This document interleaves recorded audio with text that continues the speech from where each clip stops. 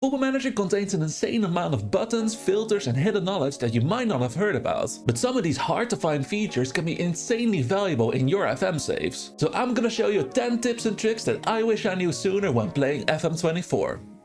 Number 1. The introduction of 5 substitutes instead of 3 has helped us massively with taking off players who are playing bad, got an injury or just need a rest. But what if one of your players has taken a knock and you really want to rest him, but you've used up all of your substitutions? Well in that case, you're actually able to take one of your players off the field. In a match, once you've used up all your substitutions, go to the tactics screen and right click the player you would want to take off. You can now see that a new option, take off, has become available. Clicking this option will take the player right off the field, giving the player a much needed rest without requiring a substitution to be available. But be warned, this does leave you with a man down on the field, so only use this option when you're sure that with the time remaining you can see out your result.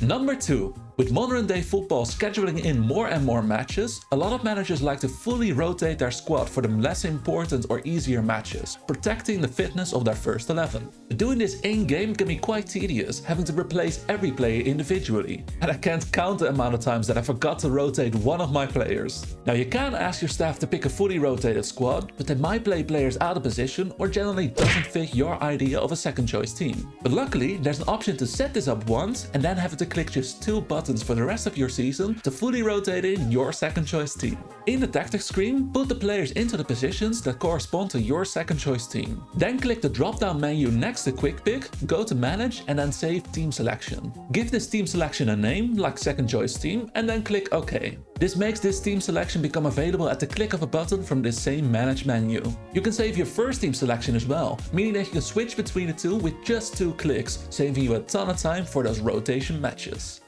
Number 3. A lot of managers will know that you can set player instructions for the roles in your tactic. Now this will apply the instruction to any player playing in this role and position. But did you know you can make it a bit more personal? At the top of the instruction screen, you can see a toggle between position and personalized. Switching this toggle to personalized will then make any applied instructions or role changes only apply to the currently selected player for this position. This can add another detailed layer to your tactics, making it possible to make small tactical tweaks based on the specific players who'll be playing in those positions. A way that I like to use this functionality is during matches, where if one of my players gets a yellow card, I can add a personalized instruction to ease of tackles. If I then substitute a new player into this position, they won't have this instruction, meaning that they won't be holding back and bringing their full energy into the match. Number 4.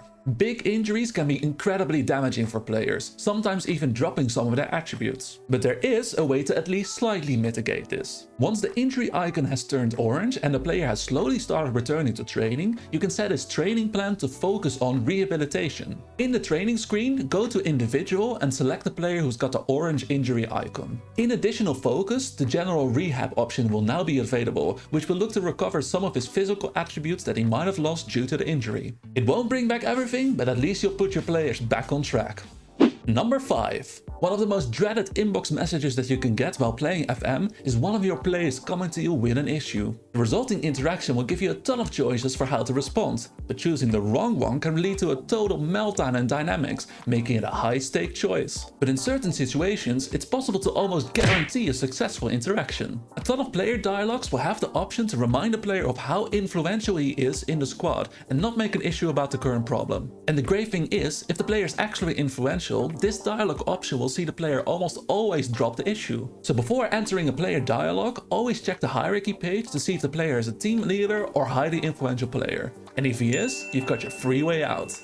Number 6. Everyone is always looking for the next best method to find a wonder kid, but still gets beaten by teams like Real Madrid and Man City finding hidden gems in the safe before you've even noticed them. But there is a method to play as a little spy and try and beat the big teams to the wonder kids they're looking at. Taking Man City as an example, go to the Premier League, head on over to news and select transfer rumors. You can keep an eye on this page and if any transfer rumor pops up that a team like Man City is interested in a young player that you haven't heard about, you can try and snatch that player from under their noses.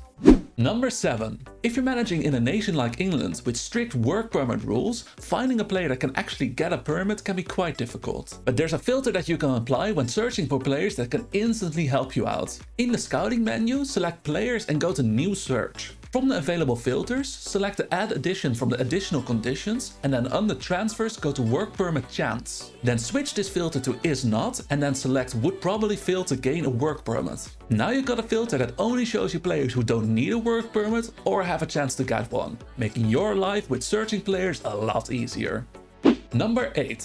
Transfer negotiations can be quite tricky, and one of the most annoying things is having the opposing club lock in an additional clause that you don't really want. But there's a sneaky way to prevent this from happening. Before you make your first offer, add in the clause that you don't want. Then click the remove button and select remove and exclude from negotiation. This prevents the opposing club from adding this clause, let alone locking it in, putting you back in charge of your transfer negotiations.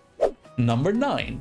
Maintaining a well-balanced squad is crucial for your team's long-term health, which makes it crucial to get rid of deadwood players on big wages, which can be quite difficult at times, especially for the veteran players. But for these older members of your squad, there's a method to get rid of them and their big wages without having to sell them. You can discuss with these players to let them immediately become a staff member, negotiating a new contract at much lower costs. Select your older player and then under discuss, go to advise and then recommend possible future staff role. You can then try and convince this player to immediately become a staff member. And if he accepts, then negotiate a new contract with him as a staff member, dropping his Deadwood wages.